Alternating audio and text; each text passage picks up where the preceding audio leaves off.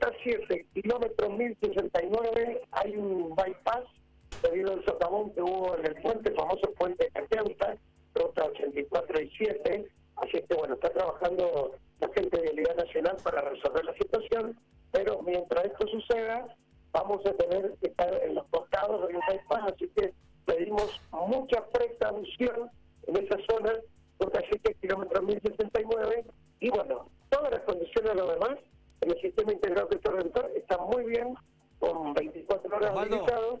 Y un dato, sí, Perdóname, perdóname. Mientras estás hablando están las imágenes del socavón, el trabajo que están ah. llevando adelante para que no se corte el tránsito. Eh, lo difundiste, lo diste a conocer en tus redes sociales en las últimas horas. ¿Es un trabajo de cuánto tiempo? ¿Y quién está? ¿Vialidad Nacional?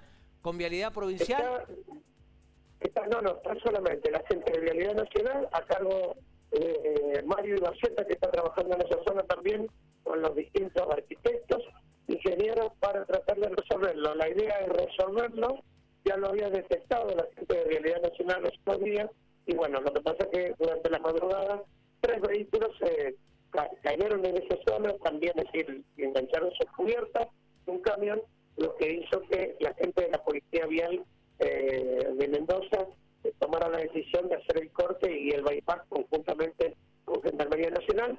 Yo calculo que va a demorar eh, el tiempo que sea necesario para que quede normalizada esta situación. No sería un tema de estructura, sino solamente de la parte superior. Así que bueno, habrá que esperar Sergio Noelia, perdón, Sergio Marisol. Hay un dato muy importante que, bueno, acordate que pasan prácticamente un promedio entre que salen y, y vuelven unos 1.800 camiones diarios. Claro, claro, es eh, la, situación es esperable. En, varios tramos de la ruta se ve el desgaste de tanta circulación. Eh, para hacerle concretos a la gente, esto es a la altura del complejo penitenciario Almafuerte.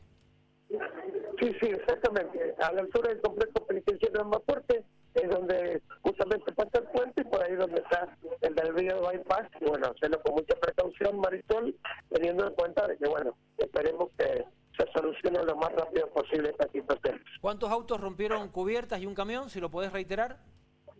Tres vehículos particulares y un camión durante la madrugada rompieron sus cubiertas en este claro, claro, sin heridos, me refiero, no, no tuvieron... No, no, no hubo, no hubo heridos, ningún tipo de lamentar ninguna pasada con ninguna lesión, pero bueno, lógicamente comenzaron como siempre los transportistas a alertar de esta situación que se estaba dando ahí en la ruta y bueno, justo fue de noche en la madrugada.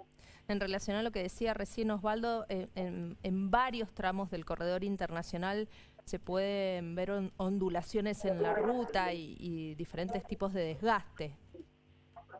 Sí, sí, yo creo que en algún momento, como esto es todo nacional, eh, va a haber eh, recuperar un poquito más o hacerle un mantenimiento, debido a que, bueno, lo que pasa es que la gran cantidad de transportes, más los ómnibus, más los vehículos particulares, bueno, lleva una gran obra, pero bueno, es hay algún momento que hay que hacer la Sí, totalmente. Mientras tanto, a circular con precaución, porque además de este socavón y que, que, ha obligado a hacer un bypass y que ralentiza la circulación, esto que yo señalo, ondulaciones en el camino que te pueden hacer perder el dominio del vehículo. Reventás un neumático y te estrellas. Vos sabés que me viene a la memoria ahora, eh, corregime Marisol si no, un informe de Fiadino y de Montacuto, dos compañeros de la edición central y por supuesto de Radio Unihuil, aquí de Grupo América, mostrando la situación del corredor internacional.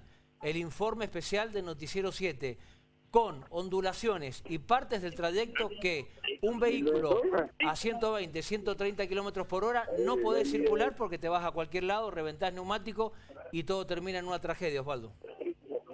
Sí, exactamente. Fue en Mendoza expuesta me acuerdo la gran tarea que hizo Montacuto y María Agustina Fiorino, que bueno, lógicamente mostró lo que se ve desde la zona de todo el corredor hasta la zona de las cuevas, por eso siempre, bueno, la zona que uno pasa, eso bueno, paso a diario por ahí, hay que tener mucha, mucha precaución y por eso las altas velocidades no corresponden porque complica mucho el corredor bioceánico.